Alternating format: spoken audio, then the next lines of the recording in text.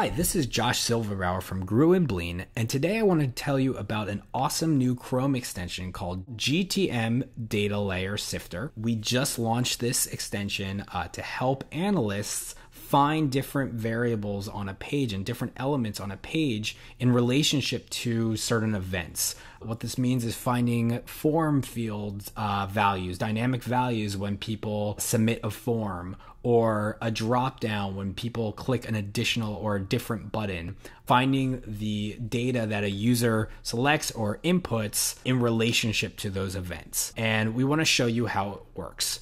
So head on over to GTM Data Layer Sifter in the Chrome store um, if you want to follow along, or you can just click this link right here and download it and follow along with us. So to show you how this works, I want to uh, bring you to the Grue and Bleen website. So head on over to www.grueandbleen.com and click on the contact button. We're going to be using this page to show an example of how to track something with GTM data layer sifter.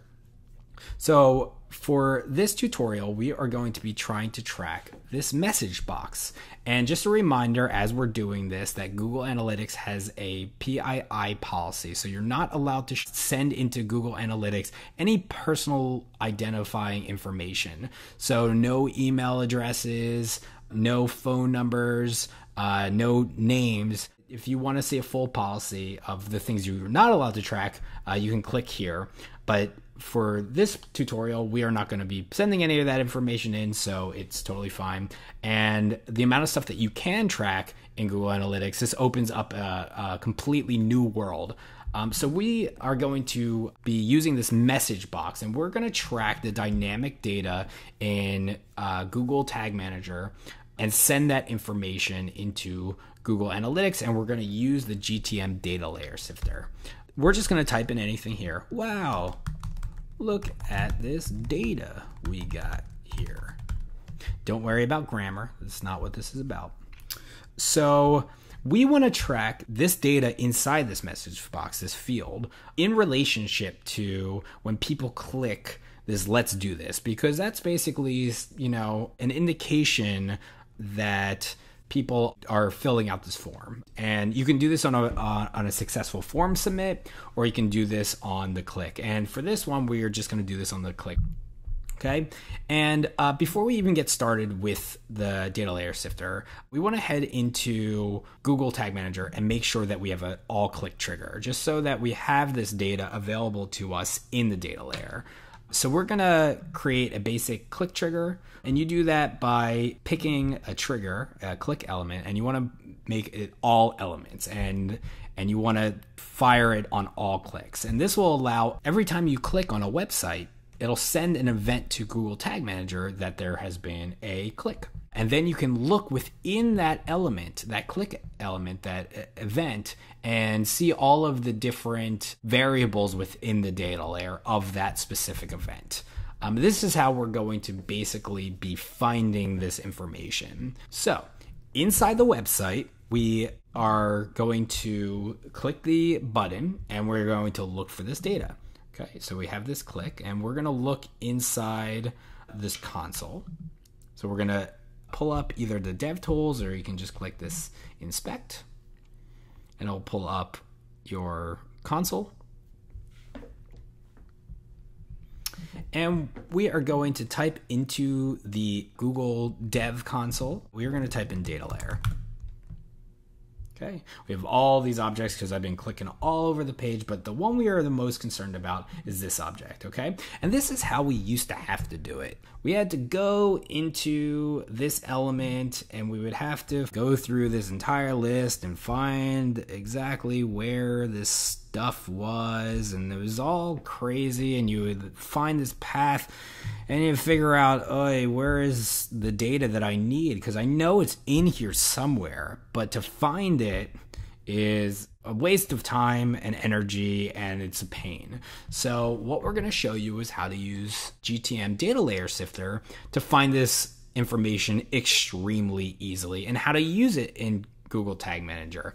Fundamentally, once you were to find this information within the click or in the object itself, you would need to then memorize the path, okay, or write down the path to where this information existed. If we were doing it the old fashioned way, we would have to go into the element. So it'd be like GTM dot element, and we would have to use dot notation to then go and find this. So we would go GTM dot element dot form. And then within form, we would have to go down to here. Looks like the text message dot 10. Uh, and then within there, we would need to find the value or the selected or whatever. Yep, there it is, dot value. And we would have to then take that down and put that into Google Tag Manager, that path, and it would then be able to find that data. That's time consuming. You have to, you know, find the path and uh, waste time by trying to find it. So we developed this tool, GTM Data Layer Sifter, where you can super easily find it. So what we're going to do is we're going to go into the Elements tab, and this is going to we're going to go into this GTM Data Layer Sifter tab, and it's going to look a little similar to how GTM is set up. Um, if you are used to the preview and debug mode, it's kind of combining what you what you see in the console with what you see in the GTM interface. So we're gonna do this again. We're gonna click this button just so that we have it as the last event that we did and we're going to find it in here. And here it is, okay? The context submit, the click is the context submit hero call to action button. And we want to find what's in this box and the path to it. So we're just going to use our select element that you would use normally if you're inspecting an element. And we're just going to highlight the box. And there's the entire path to the value in dot notation right there for you. You can verify that it's correct by seeing this matches what we inputted.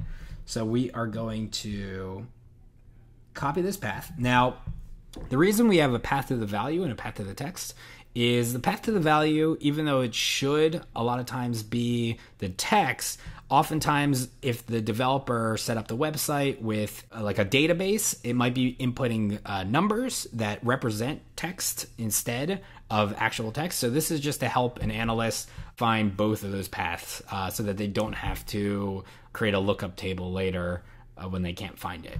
Okay, so we're going to take the path to the value and we're going to head on over to Google Tag Manager and we are going to create a user defined data layer variable. We're going to call this so that it doesn't get confused with the other ones that we created. We're going to call this tutorial data layer variable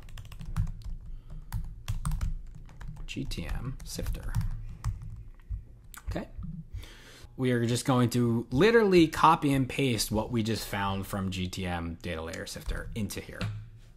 Okay, now we have saved that. Okay, so now we have the tutorial data layer variable and we are going to refresh and we're going to reload the page. And we're gonna show you now where to look to make sure that this is working in Google Tag Manager. So we don't really need the console anymore because we've already found where the path is. So we're reloading the page. And we are going to input a different text just so that you can, you know, see that this is working correctly. So we're going to put in what's the text look like now? We're going to click this button again. And we have a new click event and we're going to look at our variables and we're going to go down to tutorial and we have exactly what we typed in, which is what's the text look like now? And that text is in Google Tag Manager now as a variable. And now we can use that to send it to Google Analytics. All right, so what we're going to do is we're going to go back to Google Tag Manager and we're going to create a tag. And that tag is going to be called, we're going to call this tutorial tag.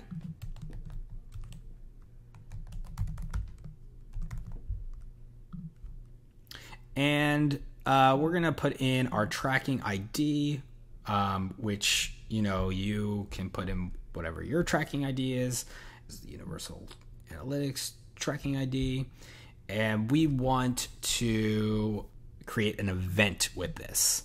Okay, so this is going to be let's do this click.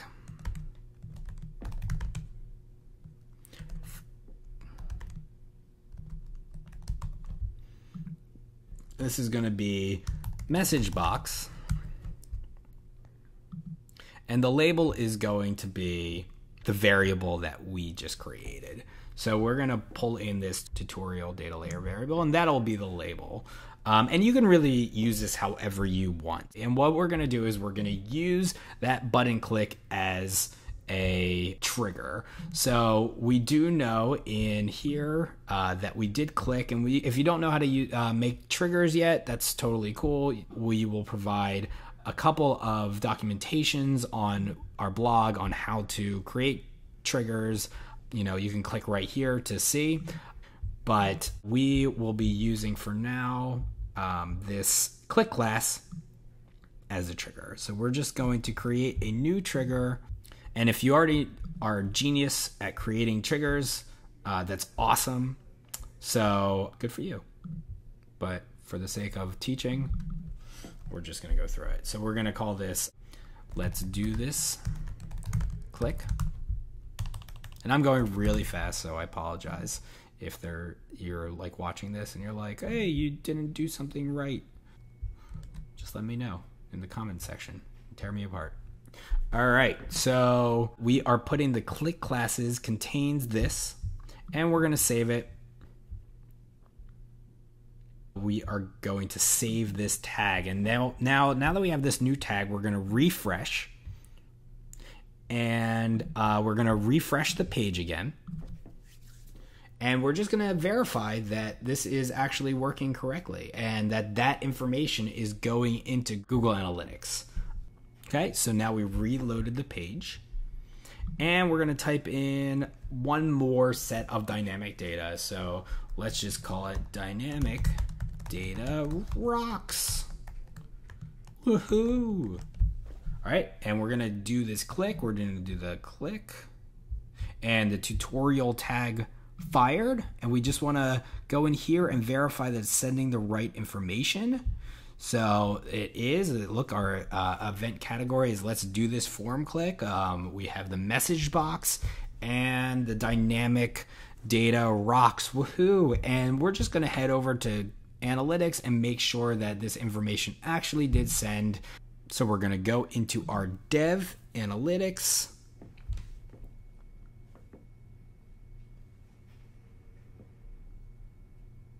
And we are going to go into our real-time events just to make sure that everything is firing. And we do see it in our real-time events. We see the let's do this form click the message box and the dynamic data rocks. Woohoo all right so that is basically how to use gtm uh, data layer sifter to find a field value. Uh, you can also do this with uh, drop downs super easily. Uh, this actually even works with checkboxes and radio buttons. There's a little bit of a trick to use it with that, but we will explain that in our next video. Uh, so for now, you can go over to GTM Data Layer Sifter, search it on Google or on the Chrome store, or click this link below.